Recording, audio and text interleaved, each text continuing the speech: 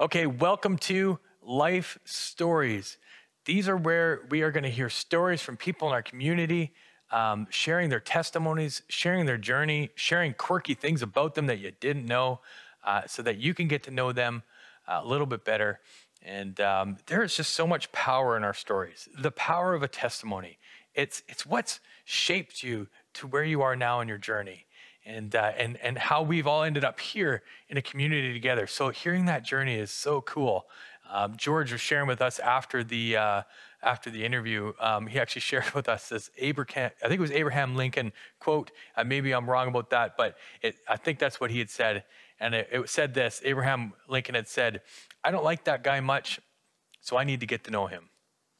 And that's in no reference to George uh, by any means, but I love that quote as we get to know somebody, we, we just hear more about their story. It's amazing how um, we just start to grow fond of each other. So, this is Life Stories. The first person we are interviewing for a life story is George Dening, and uh, I know you're going to enjoy it. So, I'm just going to roll right into our conversation. So, how did you feel about the questions I sent you? Great questions. I, I uh, it's straightforward. It's, uh, it's straightforward, not too complicated. No, no. Should be. I, yeah. When you when you ask me about things you don't people don't know about me, there's there's two things. One is uh, I uh, my go-to comfort food is KD and a boiled egg and a dill pickle. I uh, I could eat that three times a week, easy. I uh, I have no KD, KD, a boiled egg and a, and a dill pickle. And and you do this. This is like three. I don't always do this, but I could do it frequently so do you take so you you make the KD, and then you do a hard boiled egg? You, hard boiled egg. I boil I boil it in the pot. Okay. Oh, with the KD. With the KD. Okay, kind of like what people do with noodles. Yeah. Uh, sometimes, and then and I usually embellish the KD with sour cream mm. and and extra cheese. Okay, nice. and then you slice a pickle into this as well, or no? Just... No, I then I have a pickle on the side, but. uh pickle on the side. Just a great big like gherkins, you know, lots of garlic pickle. That's man, that to me is like the perfect lunch. That that's uh I have never tried. I never tire of that food. Okay. You know what we used to do? You know, it doesn't sound like too weird. I, I, might, I might try that. Yeah, Megan would try that. See, I Megan would. I'm pretty. Megan would like try like like deep fried dill pickles too. Mm. Um, I've had them the best. It's just not it's not my thing. I'm not into deep fried dill pickles. It's I had it once with my daughter. I was watching football at a bar, and she said you got to try these deep fried dill pickles, and uh, wow, they were amazing. I know. Yeah. so we used to. I remember when I was a kid, they would make KD and then slice up hot dogs into it all the mm-hmm. time. Yeah. There's your protein. That was a pretty yeah. That was a pretty normal thing to have when we were kids, but uh, uh, never uh, never an egg and never a pickle with it though. But uh, you know what? I like pickle and cheese. But anyways, this is about you, George, not about me and what I like. See what's happening here? why, why don't you ask me some questions?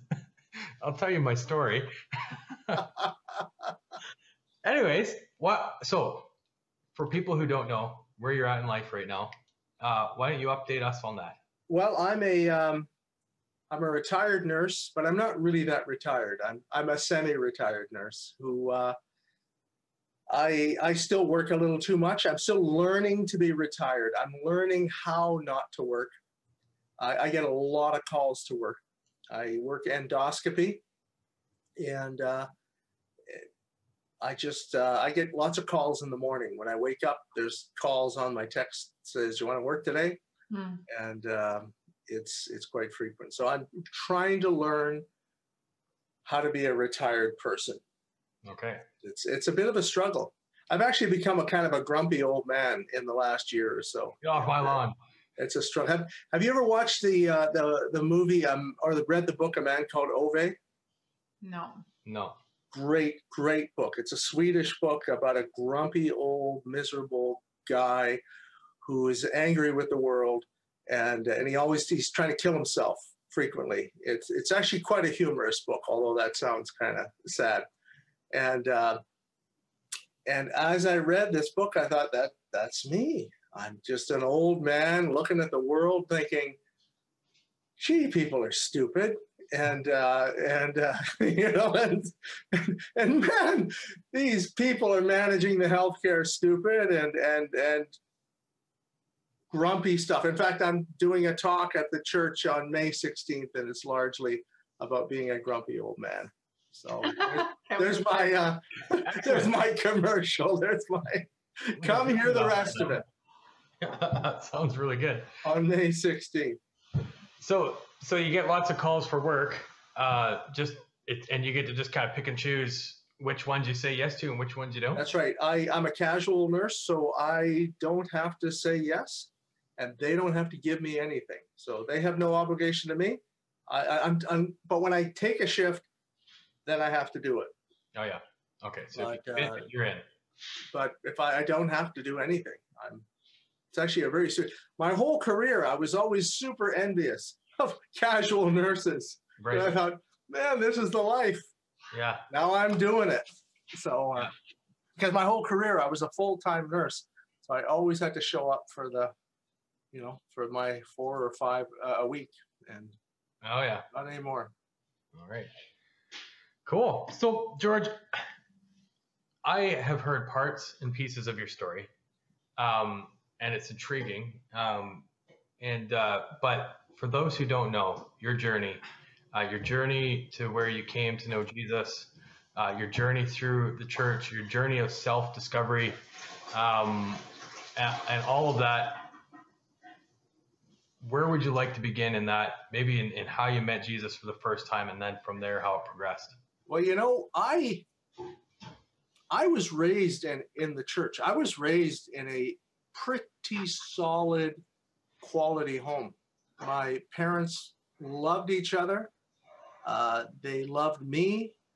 They weren't perfect. They, weren't. They were super involved church people in the Christian Reformed Church. So I was raised in that Christian Reformed tradition, Calvinist, very Calvinist.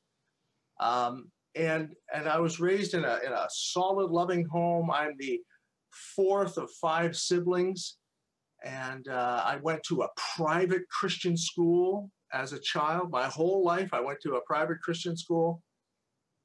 When I was about 14, 13, 14, I just got in with some lousy friends. And they were friends from that school, that church, that same environment. And we just became little hellions, little orangutans. We would, and, and uh, back then, your parents never knew what you were doing. I mean, literally on a, on a non-school day, I would leave home at eight or nine in the morning and show up again at five. Hmm. Parents had no idea what we were up to. Hmm. We, were, we lived on the outskirts of Northeast Edmonton. We had fields and and farms on the outskirts, and we had bicycles all the time.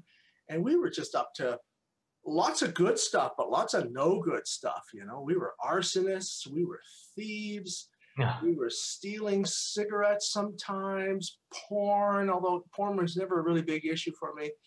Uh, going and learning. I learned how to swim kind of by myself at a at a big pit outside of Edmonton, and we would go there and. wonder- Which you almost sounded like a and- teenager. Hmm? You almost sounded like a teenager. Oh yeah, yeah, yeah. but I had a, I had a, a sort of a, an, an anger against the church, and I've always kind of been a rebel. You know, if you push me, I'm gonna push back.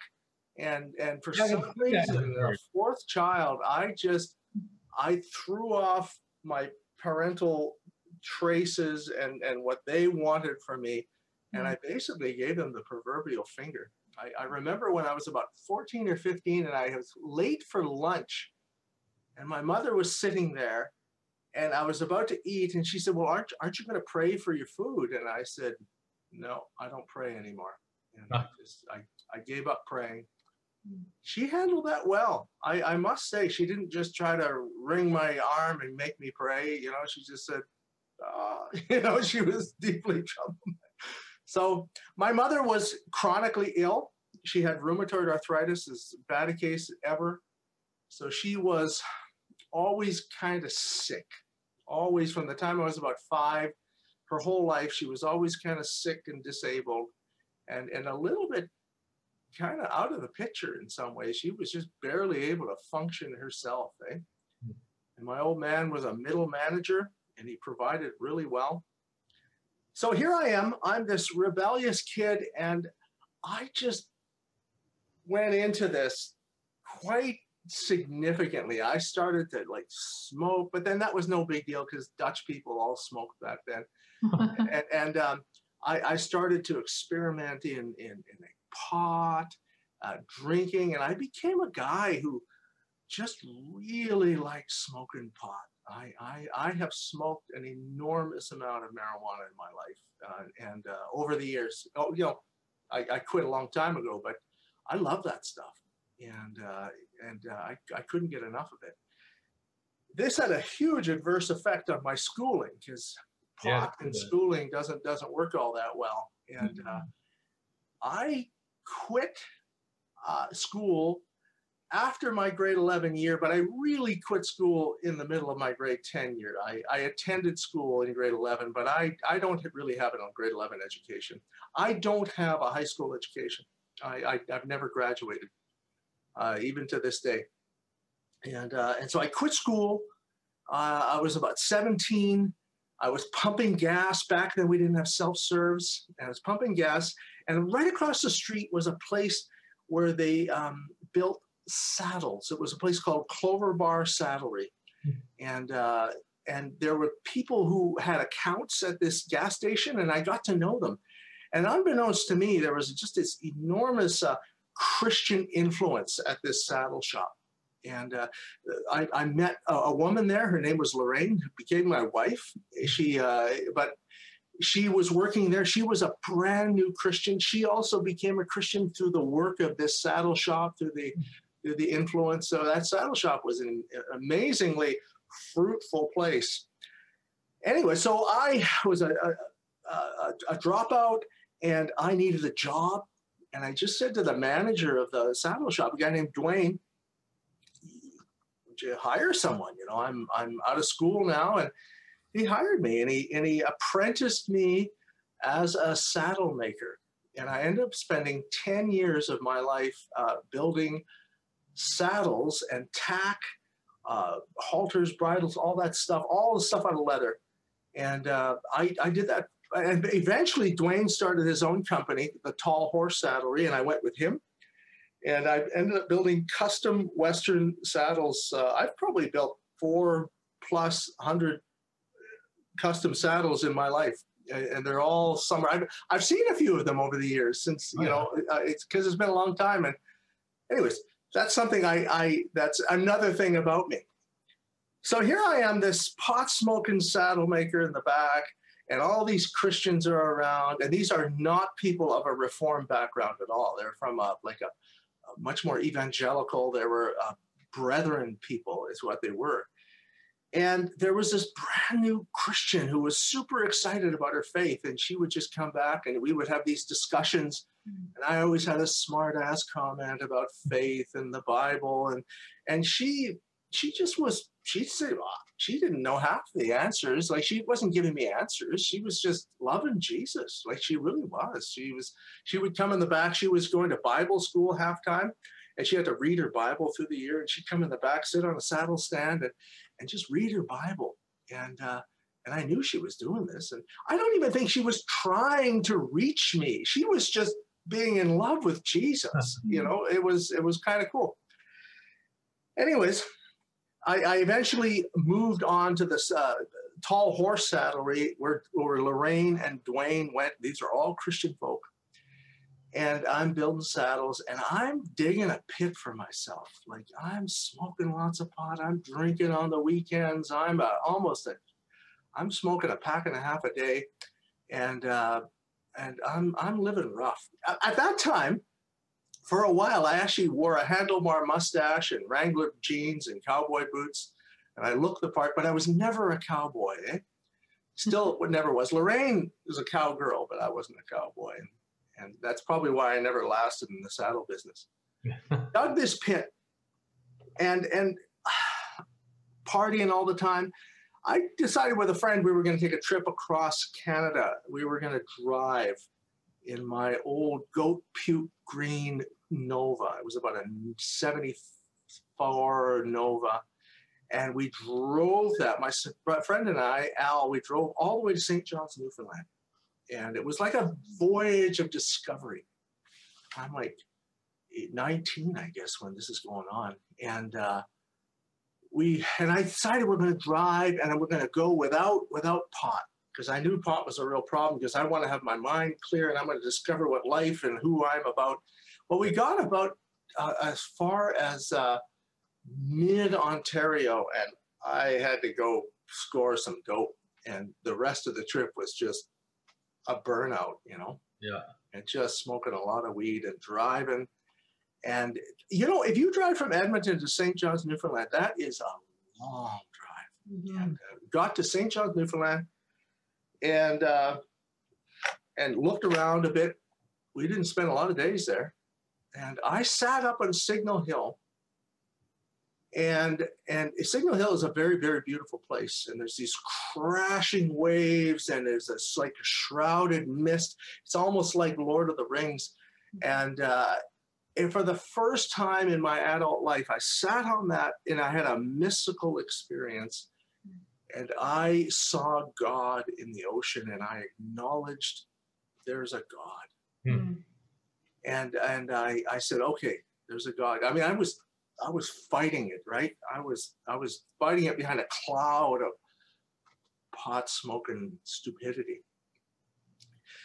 But I mean, that, I said that thing, and I, what I just said, and then that night I probably had the most significant uh, drunk I've ever had in my life in a place called Quidi Vidi, and uh, and then next morning we got up all hungover, got in our Nova, and drove back home to Edmonton, and uh, that was a long haul got to uh, got home, and you know what? I started. Lorraine was. I was working with Lorraine. We were not romantically involved at all. She's eight years older than I am. We, I had another girlfriend. It was, it was, we were just coworkers. But I thought she'd want to know about this God thing because she, I knew she knew God, mm-hmm. and she started to pray for me, and uh, we would chat. Very easy going, very, you know, not a big deal. We would chat and um, she would pray for me. And uh, after a while, she invited me. This is in the fall of 1979. She invited me to a concert, a rock concert. And she knew I liked to go to rock concerts. I had been to see Queen and Eric Clapton and anybody who came through town was always going to a rock concert. So she invited me to a, Christian rock concert, a guy named Randy Stonehill and, a band named Daniel Amos. And I went there. And uh, I, it was actually quite a good time. And uh, listened to this music. And at the end, the Randy Stonehill gets up and he says this thing. And it's like he said it yesterday. He said, You know, guys, I've tried travel and I've tried Lord of the Rings and I've tried booze and I've tried drugs, all this stuff I was trying. And he said that it wasn't until I met Jesus that it made any sense. And it and I just went, wow. I mean,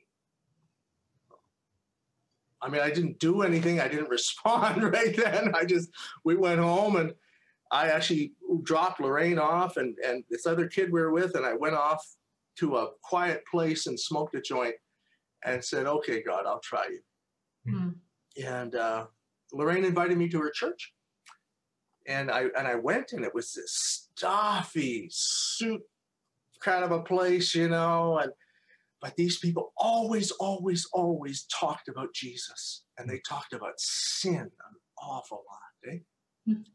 They were preaching the gospel, and uh, I would go. I would go to these meetings um, for a while. I don't remember how long and and I would have discussions with Lorraine, and I'd say, well, you know, these guys say I'm a sinner, and I said I'm not such a bad guy.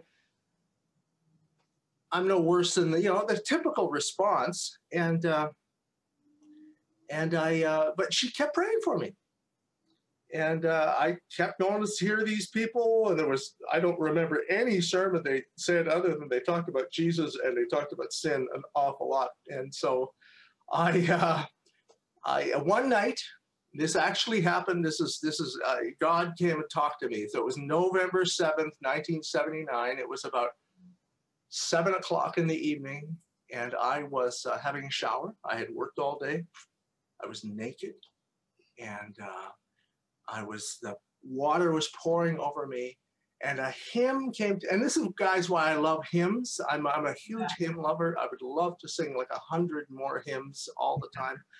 And uh, his huge hymn of the faith came into my mind while I'm having a shower, and I started to weep. And, uh, and I'm actually tearing up right now. And uh, I started to weep and I started to cry. And I said, You're God and I'm not. I said something like that. I don't remember what I said, but it was nothing to do with the cross, nothing to do with any profound doctrine. It was just that you're God and I'm not. Hmm. I, I basically, what I did is I turned the shower off, grabbed a towel, and literally crawled around the corner into my room, into the closet, and I shut the door. And I wept. I was naked and wet, and I and I wept, and I said, "You're God." And and, and so basically, in November seventh, nineteen seventy nine, I gave up, and uh, and I I gave up, and I received life. I didn't give my life to God he didn't want that filthy thing, you know. He, I received life from him, and he gave me life. Wow. And it, it it's that was the beginning of the transformation. I, that was not instantaneous. Right. That night, I actually went. They, Lorraine was working late. I went and told her the story, and she was thrilled. I had a fight with another guy that night. Like I was all emotionally disturbed, and uh, nonetheless, the next morning I phoned the guy I had the fight with and I apologized. So there was a transformation. Yeah, something, something I, I started to floss my teeth. That was one of the first transformations because I wasn't taking care of my teeth. Mm. I eventually gave up smoking, and uh, and that was through some guys I worked with, I went to church with, who were very helpful with that. So so small things changed, but the it's the inner man that changed. Yeah. And, and I started to realize how dead I was mm. and how much I needed his life. Unfortunately, that, that little church I went to, they raised up a tremendous little Pharisee over the years, and I became a, a little jackass Pharisee for a good while. And that was awful. And what I mean by that is they were they were saying what really matters is that you know the scripture, you know, and I got to know the scripture and I got to be really proud about that. And mm. I'm not proud of that. That's that's not a pleasant thing. But that that thing that happened in November 7th, 1979 is real. Yeah. That happened to me. That that was the beginning of the transformation. And he has never ever let me go. Yeah. And he has kept at it. He's kept kept kept you know, not letting me go because it, it, says he disciplines those he loves. Mm-hmm. And I've had to withstand some awful discipline over the years because, you know, our capacity to sin is way bigger than we ever, ever, ever know. And uh, it's huge, that sin problem. It is. And his grace yeah. is way bigger. It's a so. beautiful, beautiful story of God's grace and pursuit and I love that. It's beautiful. Thank yeah. you for sharing that. Yeah. Mm-hmm. But that's the beginning. That wasn't like it. Yeah, yeah, yeah. Yeah, yeah that's, that, that got things going. Got to start somewhere. And then along, uh, uh, uh, I'm assuming you and Lorraine got married along that journey. we did. We did. Then my eyes were open. And uh, we were married uh, about uh, oh within the year actually. Wow. It was it was pretty a little too fast actually. Sometimes my parents were horrified but because um, my parents, what, what, what are you doing? They, this girl isn't Dutch. You know, she's eight years older. You know, they were just, uh, you know, when I look back on it, when I look back now, if my kid did that, I think I'd be a little, what are you doing? you know, well, worked yeah. out for you. But yeah. it has worked out. Yeah. Yeah. That's very cool. George, I'm curious. We've been in in this whole COVID thing for a year now, and people are feeling the weight of that, feeling the cup somewhat get emptier sometimes every day. What's something that you've done to keep keep your spirits up, keep yourself connected with Jesus, keep yourself connected in community? What's what's one good piece of advice that you could give to say, hey, this hang on to this. Two things that have, have worked my my whole life is daily communion with Him. Mm-hmm. Daily, I call it a quiet time. You can call it devotion, whatever. The the brethren guys, that's what they taught me to do. Yeah. What a wonderful thing they taught me to do right off the head. A daily time with Him, and connecting with people. You know, just connecting with people. That's uh, it's, it's so important. I got I have some friends. I, Dave, uh, uh, Jim, these guys. I I spend time and getting outside. You know, getting outside and walking. So, but it's connecting with Jesus. I mean, the, the word is powerful, guys. It, it, it actually speaks. You know, it it that's that's how God that's how God's always spoke to me. So, yeah. so yeah, yeah, yeah. Well, George, thanks for sharing your story with us, and uh, um, I'm excited to to put this up tomorrow, Thursday, right? To put this up tomorrow, and uh, with your permission, of course. Oh. But I, I think it's just so great and it's powerful and it's your story and, and nobody can can go no that didn't happen you know? You know what I mean? Like that's, that's the thing testimony. Power of it. And, and, and you just go wow you know? And you just let it sit. And uh, I think it's gonna you know it just is encouraging people. So thanks for sharing that with us. And, yeah did you have anything else you wanted to I think that's great. I, I learned quite a bit about you tonight, so yeah, I'm thankful for that. Yeah, which is always great learning about people and get to know people more. So, yeah. thank you. Great yeah. opportunity. So there you have it. That is our first life story, the first of many. If you want to be a part of this and share your story, uh, we want to hear your story. Uh, people want to hear your story. We want to get to know you. And man, people need to see some other people's faces on our YouTube uh, cameras, our YouTube streams, our Facebook streams, all this kind of stuff. People need to see some more faces. So send me an email at jvineweb at outlook.com and let me know if you want to be a part of this, and we'll set it up. We'll do an interview. Uh, we'll make it happen, and we'll get you on here as well. Bless you guys. You are loved. We'll see you later.